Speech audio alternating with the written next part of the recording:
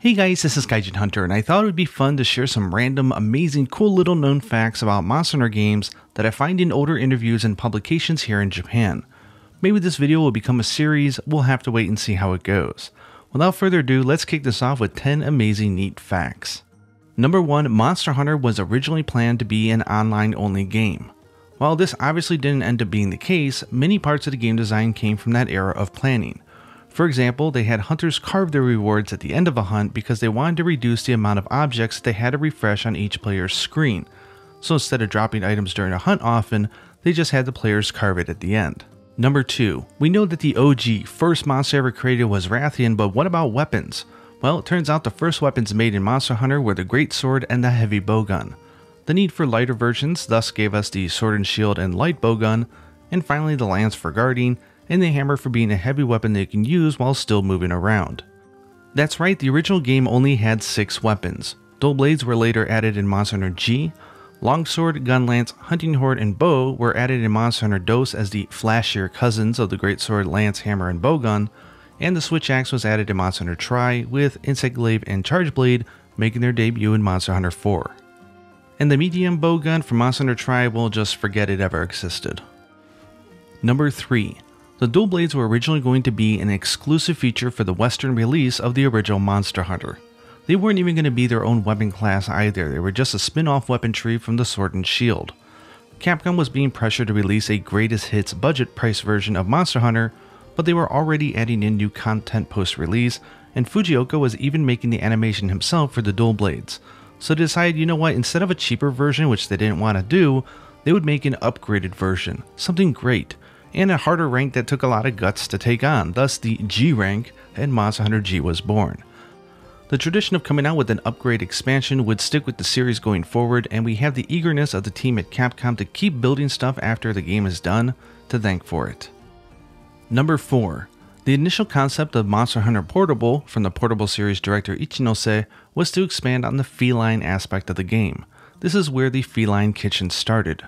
They probably would have done more in this title, but they only had 8 months and about 20 people to port over the original Monster Hunter to the PlayStation Portable. Feline though would remain a key word for all the portable games however. Monster Hunter Freedom Unite brought palicos, Monster Hunter Portable 3 started to really push the envelope with more feline weapons and gear, and Monster Hunter Generations even gave us a playable palico in the form of a prowler.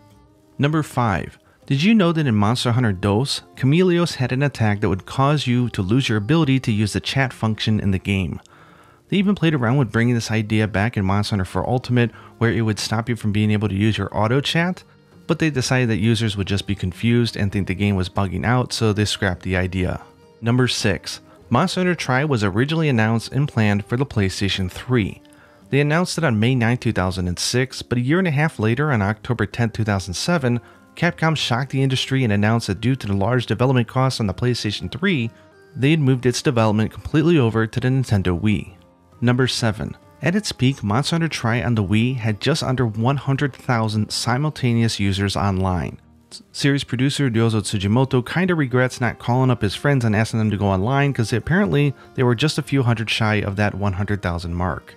I'm sure they busted it with Monster Hunter World. Number 8. One of my favorite games in the series, Monster Hunter Feline Village, the adorable laid back game featuring just the felines, was developed by none other than the hardcore game studio From Software. The director on the game, Kazuhiro Hamatani, was the lead game designer on Bloodborne. Just goes to show you how wide the talents are of the staff at From Software. Number 9. In Monster Hunter Tri, they removed the dual blades, gun lance, hunting horn, and the bow from the game, but after getting apparently a ton of complaints to Capcom, the team vowed to never reduce the number of weapons again. Except they forgot with Prowler. So in Monster Hunter Portable 3rd, while they were originally going to add a new weapon to the game, they decided instead to focus on bringing back the 4 and to add in new features. Perhaps it all worked out in the end though because the dual blades got the Archdemon mode, Gunlance got the full burst attack and the ability to charge up shots, Hunting Horn got the ability to play songs while attacking, and the bow got the arc shot and exhaust coatings. Portable team, I love you.